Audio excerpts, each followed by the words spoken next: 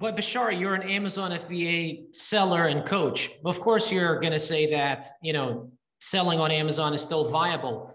Sure, I mean that that probably I have some bias there, and that there's probably some truth to it. But there's a reason why I personally have been selling on Amazon for the last six years, and I've been on the platform and haven't haven't done anything else. I personally don't have any stocks. I don't have any crypto. Um, we have some of our students that paid us in crypto. That's the only crypto that the company holds. I personally don't hold any. I don't have any investments. I'm not in real estate. I'm not really in anything. I just reinvest money back into scaling our Amazon business. And then the methods that I learned from there, I teach our students. So you might be thinking right now, well, you know, Amazon FBA has been going around for many different years and um, you know there are a bunch of gurus running around teaching it. And it's probably so saturated. Then you're 100% sure. I mean 100% true. If i were to go back to five six years ago when i first started selling on amazon 2015 2016 there was definitely a lot less buyers. But see one thing one story that i tell everybody over and over and over again is I remember in the first year I was in the USA, 2006, um, Thanksgiving was, you know, happening and Black Friday. And I remember driving past um, Best Buy and I was just confused because it was Detroit and it was about 11, 12 o'clock in the middle of the night. And um, there was a line out the door around the block and it was snowing and it was freezing. And to me, coming from Iraq, you know, that kind of weather was insane because I've never seen snow in my life. But seeing people sleeping on the streets, they didn't look homeless to me. They looked like decent people, you know, dressed in normal clothes. So I asked my uncle, I said, Hey, what's going on here? Why are all these people outside? And he said, he started explaining to me. So the first Thanksgiving ever. So he started explaining to me Black Friday and so on and so forth. And I understood that. And then over the years, I've just watched the, and that was Best Buy, by the way. Over the years, I've watched that line get shorter and shorter and shorter.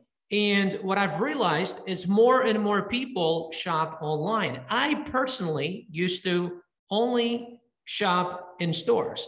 I have a, a pretty weird body. If you follow me, you've probably seen got a big head, small shoulders especially when it came to clothes, I had to go and try it, you know, otherwise it just, I, I couldn't just wear anything. And I had a big stomach. It was just weird. The whole situation was weird. Right. So to me, I, I never trusted, you know, online shopping. Like I was like, who is this person that's going to ship me these products? Where are they coming from? Right. So I had to go down to the store. But then over the years, especially after I actually got involved with Amazon and saw how easy it was for customers to buy, and especially after COVID, I realized that my shopping habits have completely transformed from retail to online. And over time, that only actually increases. You know, my retail shopping decreases, and my online shopping increases. So, one thing they have to understand is yes, there are definitely a bunch of new sellers on Amazon today than there was. In fact, just in 2020 alone, 1.2 million new sellers joined the Amazon platform, right? But then the good news is that if you know what you're doing, if you've got a proven formula, they don't stand a chance because guess what? We have 2,500 students, and we are one of the best and largest, if not the best and largest, online education company for Amazon. And we only have 2,500 students. We've been in business for two years. Can you imagine 1.2 million new sellers, what they're doing and where they're getting their information from. I get it. There's hundreds and thousands of YouTube videos for free that people can watch. Uh, they don't necessarily need to enroll in BJK University or any other, you know, coaching program for that matter. But how good are these videos? How detailed are they? You know, you're watching this video. It's a great video, but is it really showing you step by step on how to sell on Amazon? And maybe, you know, this one probably not, but other videos probably are in my channel. But can you really put them all in order? Are you missing some things? What if we're not giving you everything? What if we're not showing you everything because we want you to enroll in our university, right? What if that is that is the case, right? And and that's the case with hundreds of thousands of sellers out there. So if you have what they don't have, you can definitely crush them. That's what I'm trying to tell you here. So is it saturated? It's absolutely saturated. it's a lot more saturated than it was, but there's also a lot more buyers on the platform today than there ever has been on the platform. And we have students until this day enrolling and making tens of thousands and hundreds of thousands. Now, no, it's not easy. It was probably a lot easier before, but it's also a lot easier than the traditional business because let's face it, what else are you going to do? 51% of all online sales happen on Amazon. Your other option would be say you've got a job and then you want to start an online business. What are your options? You could do stocks, you could do affiliate marketing, you could go into crypto, you could go into drop shipping, right? Like on Shopify. So let's look at those four things. If you do stocks, definitely lower barrier to entry, but also that means when it's low, lower barrier to entry, that means more people are trying to do it. And you don't really control the outcome. You control the, the inflow, but not the outflow. Because stocks, and I think stocks and, and crypto kind of both are on the same page because they are manipulated by someone's tweet, someone's little action. Cristiano Ronaldo moved the can of Coke from here to here and grab the bottle of water, and Coca Cola stock dropped by $3 billion or something like that, right? Elon Musk will send a tweet out, and all of a sudden, crypto will go up or it will come crashing down. You can't afford to do that. You've got bills to pay, right? So those two are out the window. What's the other thing? Affiliate marketing. That's cool you don't have that much money to invest because you're technically selling someone else's product. So you could become an affiliate, for instance, for a BJK University. You drive traffic to BJK University. But what if BJK University goes to shit? What, what if we are a bunch of scammers? We've been in business for two years. We've been able to cover it. And then we're just going to make 20, 30 million dollars and then vanish. What are you going to do? Right? It's your reputation on the line.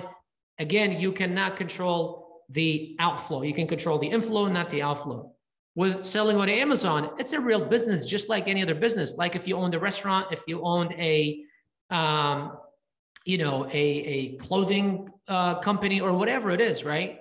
You control the, in, the inflow, you control the outflow. But the cool thing about it is that unlike a traditional business, you don't need hundreds of thousands of dollars to start. Unlike any other business, you don't need tens of employees. You can run it remote from anywhere in the world. And you can also start with as little as 10,000 or sometimes even less.